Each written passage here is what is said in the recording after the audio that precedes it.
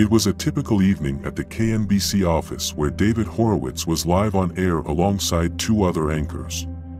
As he was ready to present the evening news, an unexpected turn of events unfolded before his eyes.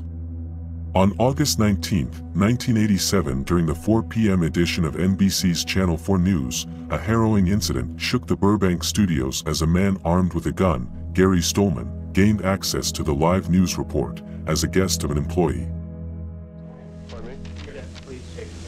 Is this? He's got a beaded gun, Colt top. Let me see what it says. All right, He's got a gun to his back.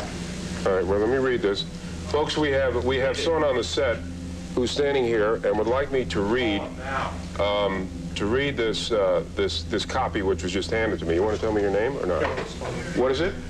And Gary, where are you from? Despite the palpable tension, David Horowitz remained composed, a testament to his professionalism, as he reluctantly complied with the intruder's demands, reading them aloud for the audience. However, unbeknownst to Gary Stolman, the news feed had been discreetly taken off the air, a strategic maneuver executed by the studio crew to mitigate the risk of further chaos. And Gary, where are you from?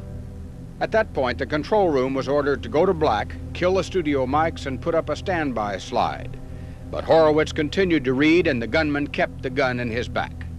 I was warned in 1981 by someone with connections at the CIA to stay off the computers, that they didn't trust people on computers. When I began receiving disturbing calls from my parents, which led me to believe that something terrible was going on, I was then forced into a mental hospital in Tallahassee, where I learned that my brother-in-law had been driven insane in the, in the same, what is it? In the same manner that someone was trying to do to me. The firearm turned out to be an exact replica of a real gun, adding a chilling layer of deception to the unfolding crisis. With law enforcement now on the scene, poised to take action, Gary's sudden decision to place the gun on the table after his statement was read marked a critical juncture. In a swift and coordinated maneuver, the police swiftly tackled him to the ground, bringing an end to the tense standoff. The gunman, later identified as Gary Stolman, emerged as an unexpected figure within the studio, revealing a startling connection to KNBC's pharmacist, Max Stolman, his own father. Max Stolman, in the aftermath of the incident, bravely came forward, acknowledging his son's prolonged battle with illness. Despite the gravity of the situation, he expressed profound gratitude that his son emerged unharmed from the ordeal.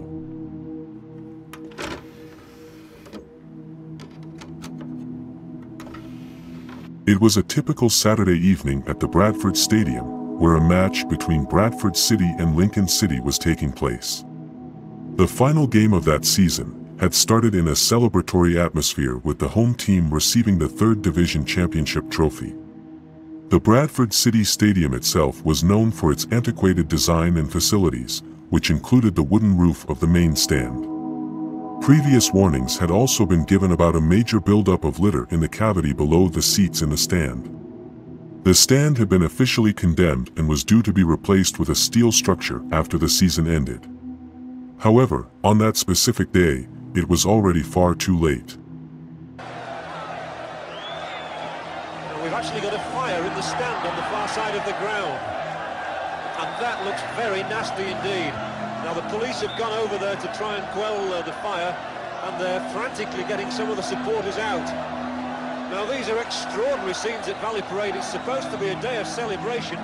One hopes the stand doesn't burn down. At 3.44 p.m., just five minutes before halftime, the first ominous sign of the impending disaster emerged, a faint glowing light, observed three rows from the back of Block G, as recounted by television commentator John Helm. Reflecting on the incident in an interview with the Express newspaper, Helm provided a chilling narrative. A man visiting from Australia, attending the game with his son, unwittingly sparked the tragedy. After lighting a cigarette, he attempted to extinguish it by placing it on the floorboard. However, the cigarette slipped through a gap in the floor, prompting the man and his son to pour coffee on the emerging smoke, believing they had contained the situation. Yet, within moments, a sudden surge of smoke engulfed the area.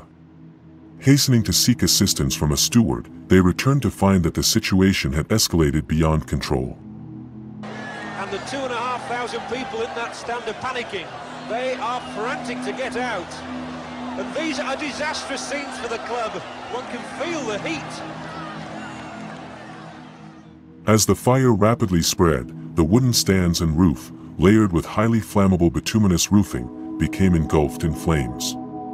Burning timbers and molten materials cascaded from the roof, raining down upon the crowd and seating below. Meanwhile, dense black smoke billowed, shrouding a passageway behind the stand where numerous spectators sought escape. Amidst the chaos, spectators desperate to flee began pouring over the wall separating the stand from the pitch. Alerted by the linesman on that side of the field, referee Norman Glover halted the game with just three minutes remaining before halftime. In a terrifyingly swift turn of events, less than four minutes sufficed for the entire stand to be consumed by the voracious flames. Now becoming tremendous. I'm sitting immediately opposite the main stand and I can feel the heat.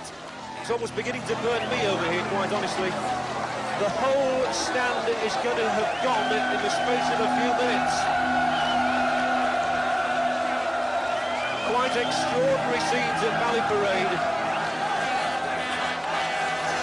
This was supposed to be a day of utter joy, triumph and celebration. It's turning into a nightmare.